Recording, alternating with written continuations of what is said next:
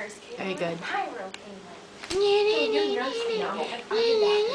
And I'm going to on And you need help. And you need help Uh, I um I didn't get it on yours.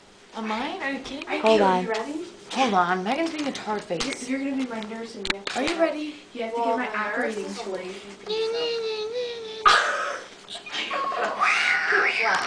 you have to come get my operating tool for me. All right, hurry up. Get on the table. You, mean, wait, you gotta get a close up on this right here. She, Caitlin Hankebeck, has MRSA and hereby subjects herself to all testing possible, even herpes. Nurse, Caitlin. Nurse, Caitlin, now you head the cameras. Get me my operating tool. My operating tool. I need my operating tool. You know what? Would you just get up and get me my operating tool? here. You need to go get my operating tool. Get my operating tool. I'm not getting myself for my job. You have to get up over me. I know you're dying, but you can do it. I promise. Get it.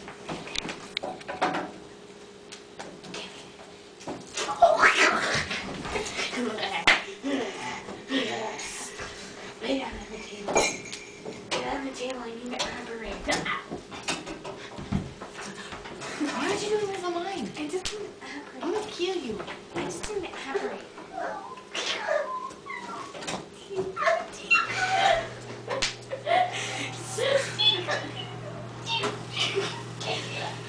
We need to cut into her now. She's probably gonna go up to scissors and rip apart my skin. Oh, so.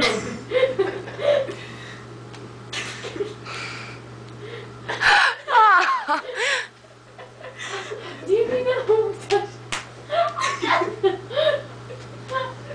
oh. Oh, I forgot to put you to sleep first. I'll say a word.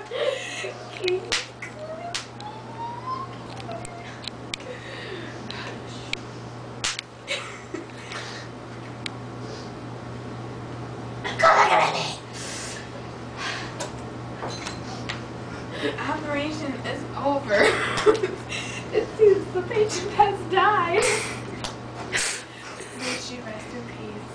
Now, all of those attending the funeral service may come up here right now. Excuse me, where are you trying my funeral? She was a wonderful person.